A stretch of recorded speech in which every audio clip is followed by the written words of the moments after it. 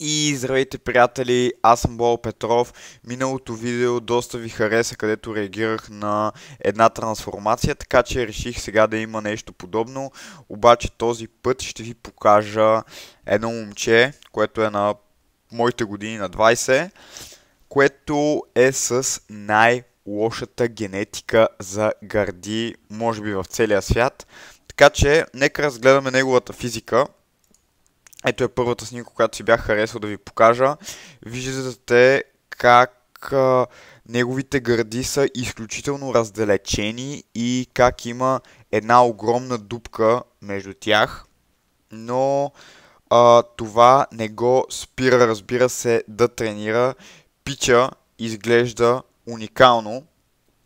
Е, сега ще ви покажа още малко снимки на а, неговата гадна генетика за гърди. Виждате как тук по средата няма абсолютно нищо. И това се надължи на факта, че той там няма мускул. Той там има просто кости. Той няма, няма мускул там. Не му е толкова дълъг мускула, че да стига до там. Виждате колко а, зле му изглеждат гърдите. Въпреки това обаче има много силни рамене, много силен бицепс, много силен трицепс, предмишницата му е на ниво, преста да не говориме.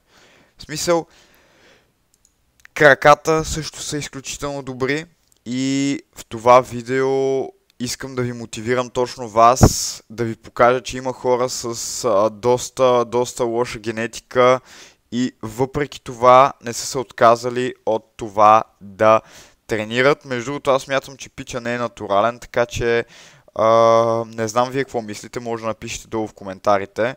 Ето тук съм ви приготвил и един шорт. Ето, перфектно може да видите колко късички, колко малки са неговите гърди, което разбира се е огромен проблем, ако той реши да състезава като бодибилдър, защото с такъв а, не би го нарекал дефект, но с такава генетика просто няма да стигне до никъде.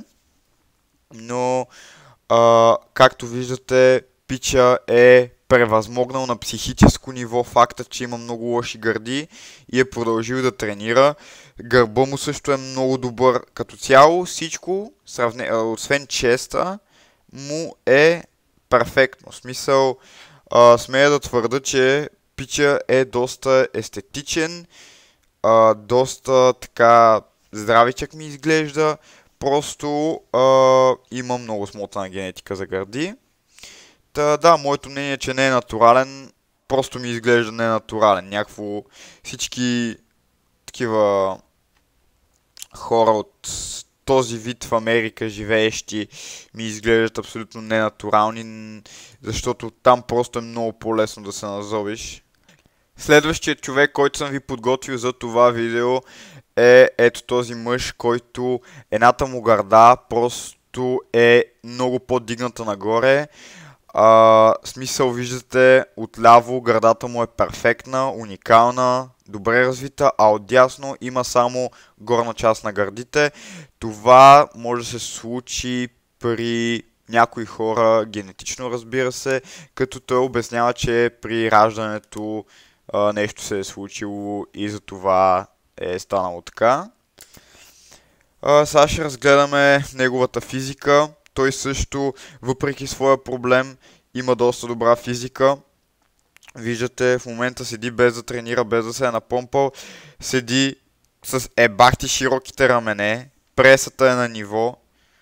А, така че, пф, де да знам. Виждате, пича, пича е доста здрав. В смисъл, пича е хем е чист, хем има така доста мускулна маса. И пак, ето че това е доказателство, че дори да нямаш най-хубавата генетика, пак можеш да постигнеш много добри резултати и аз смятам, че този пит изглежда по-добре от 99% от хората, както и предишния.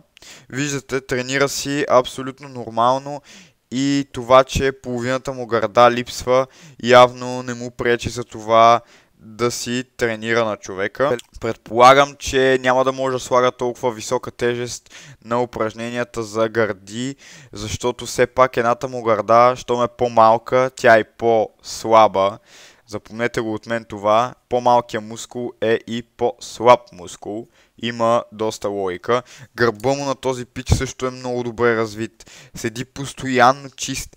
Това забележете, че са хора, които са супер отдадени на тренировките, въпреки своя недък и дефект. Аз съм наистина изключително мотивиран от такива хора, защото те, въпреки това, че знаят, че никога няма да изглеждат много, много, много добре, те продължават да тренират, продължават да натискат себе си и да развиват своите физики. Наистина това е а, доста, доста похвално.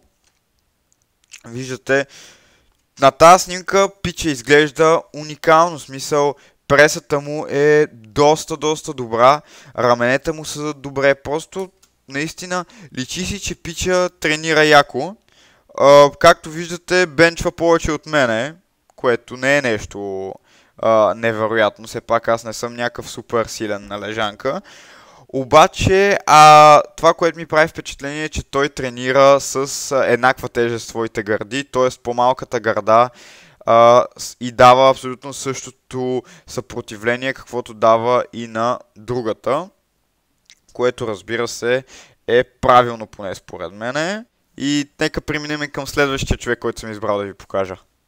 Е, последният човек, който съм избрал да ви покажа за лош ген за гърди е известният на всички ни Тристан Ли.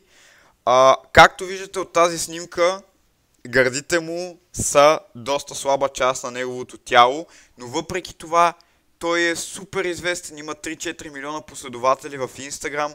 Въпреки слабата си генетика за гърди, той пак успява да събере мотивация и да тренира, да публикува контент и да не го е срам от това какъв е той.